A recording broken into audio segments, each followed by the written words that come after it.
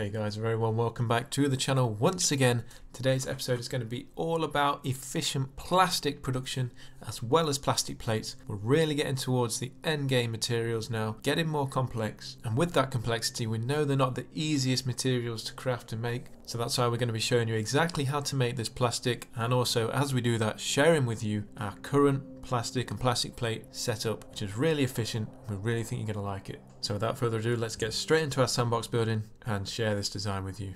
So we're going to start off with the water element of this build. and we're going to place our synthesizers in this bottom left hand corner here. Now if any of you watched our previous video on the oil production, we're essentially taking that one step further this time and using that oil to create the plastic.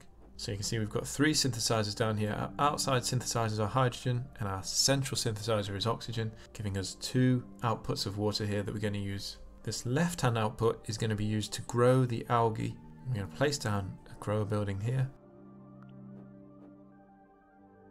Continue this pipe on and place down a second grower building. We're also going to take some water using underground pipes here over to this right hand side, place down another grower building.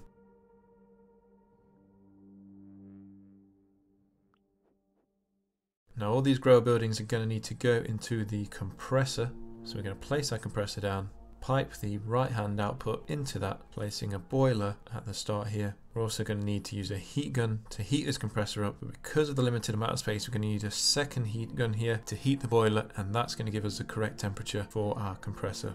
Now I also need to get the algae into the compressor itself. So we're going to use a fast grabber on this left hand grower, a long fast grabber on this right hand one. And in order to get this top grower, we're going to use another set of grabbers, placing a long grabber at the top so it can directly insert it. So that's going to give us three separate algae feeds into the compressor and that's going to produce a nice quantity of oil. Now we're then going to start to refine this oil using the chemical plant, place it directly as close as possible to save on space and our light oil is going to come out the right hand side and our heavy oil is going to come out the top. Now we're only interested in light oil for the plastic production so heavy oil has no use for this purpose so the light oil is going to come out the right hand side here and we're going to place down a chemical plant and then place down another two chemical plants just like so, connecting all of them up to the light oil pipes, and that's going to make sure we have plenty of plastic production once it's ready to be produced. Making sure to select the recipe for the plastic.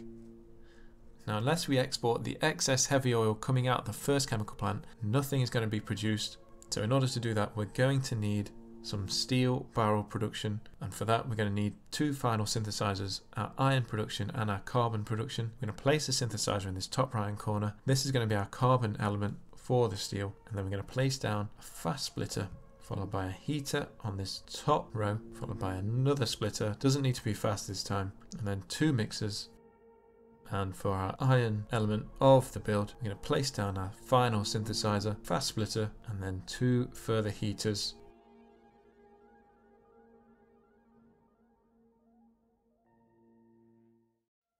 We're then going to turn this raw steel into steel plates before guiding the belt round, making sure to heat them up before they go into the shaper.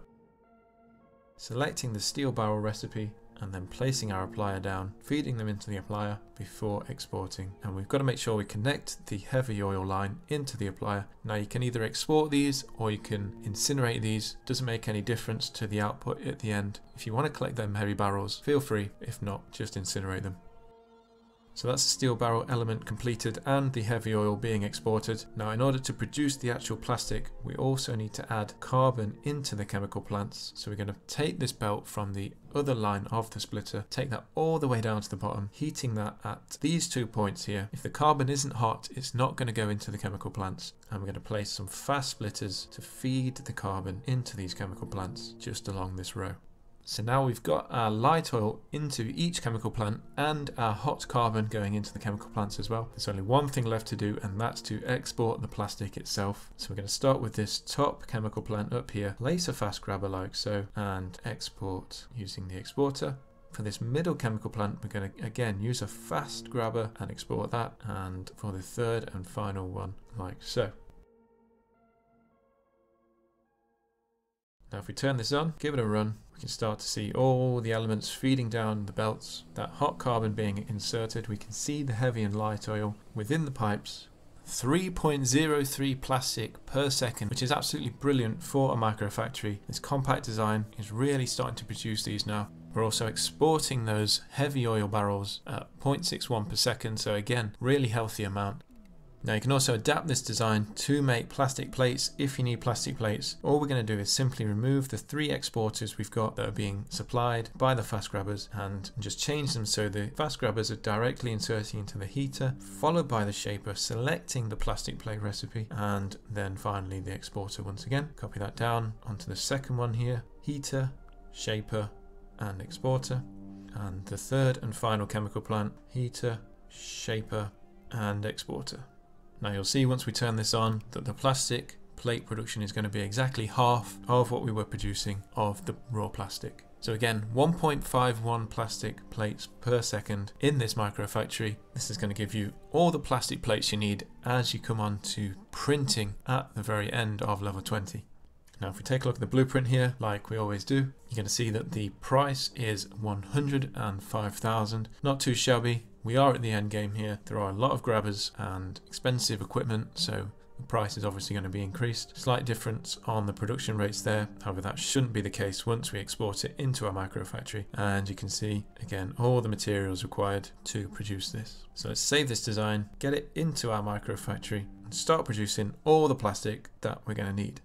So here we are once again, let's get our plastic design, place it down into our micro factory, give it a whirl,